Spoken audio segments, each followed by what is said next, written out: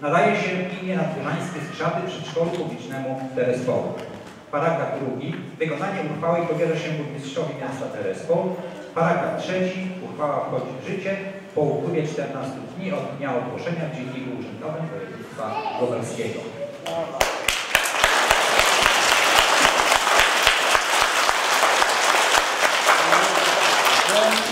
Całej społeczności tej szkoły tego przedszkola serdecznie gratuluję.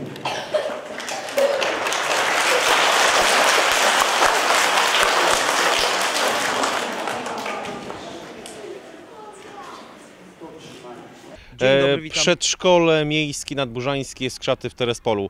W sumie to nie jest e, nowa placówka na mapie miasta Terespol, ale placówka, która od tego momentu ma swoją nazwę. E, Nie nowa, nie stara placówka, ale fajna, kilka lat sobie liczy, no i w końcu ma nazwę. E, Do tej pory gdzie chodziły dzieciaki? Do przedszkola na Sienkiewicza? Do, do tej pory to się mówiło tak. Franek, Zosia idzie do przedszkola w Terespolu. Albo do przedszkola publicznego, albo do przedszkola przy ulicy Kraszewskiego, albo do przedszkola przy ulicy Sienkiewicza. Ale teraz już to będzie brzmiało niezwykle dumnie.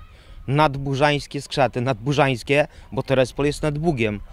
A skrzat tym się kojarzy z kimś takim fajnym, Uczynny, uczynnym, dobrym. pracowitym i najlepszym nawet. Także myślę, że nadburzańskie skrzaty i przedszkole w Terespolu to jest to, co jest najlepsze. Wspomniałeś również, panie burmistrzu, o tym, że być może niedługo potrzebna będzie jeszcze jedna nowa nazwa.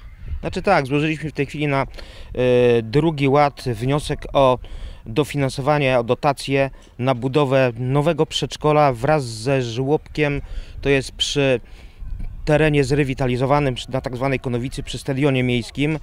Myślę, że rozstrzygnięcie tego konkursu nastąpi lada moment i gdybyśmy otrzymali te środki, to na pewno będzie to przedszkole dla najmłodszych, czyli dla 3-4-latków oraz żłobek. do ślubowania. uroczyście.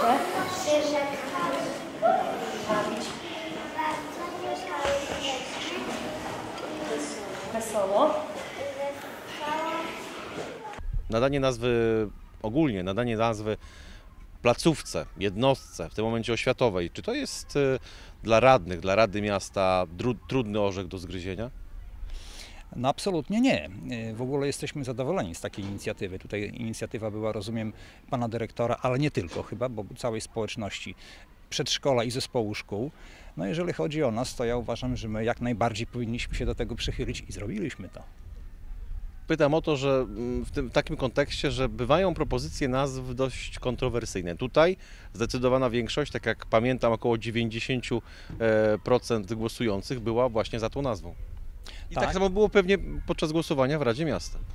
Tak, oczywiście, z tego, z tego co wiem, to głosowanie przebiegało chyba w zespole szkół, a na pewno w przedszkolu.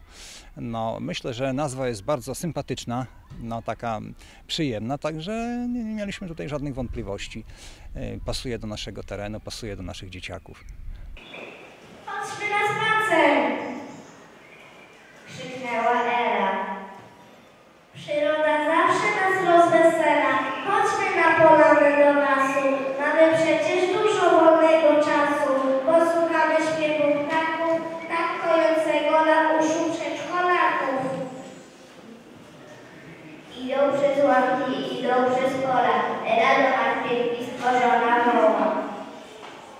Dlaczego dzisiaj podczas tej imprezy już przekazał Pan tą, no niestety, ale smutną wiadomość, zacznę od tej, od tej informacji, że za chwilę będzie się Pan z tą szkołą żegnał. Przecież to jest Pana, pana dziecko.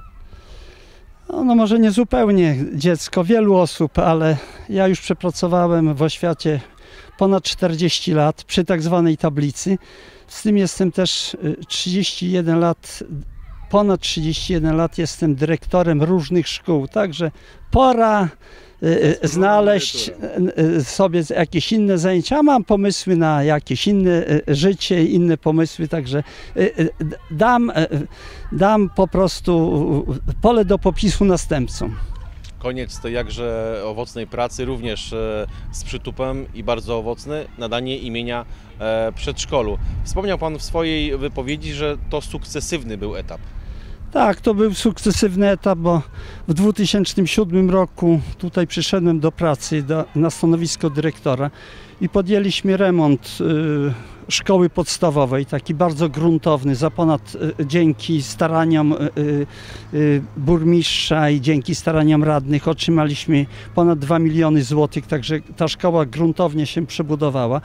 Druga sprawa, tutaj sz- trzeba podkreślić rolę rodziców, bo i otoczenie wokół szkoły się mocno zmieniło. Później zwieńczeniem tego nowego otwarcia po tym y, y, dużym remoncie było nadanie imienia. I też była procedura nadania imienia, były kilka y, kandydatur. Zwyciężyła królowa Jadwiga, święta królowa Jadwiga, która od 2013 roku jest naszą patronką.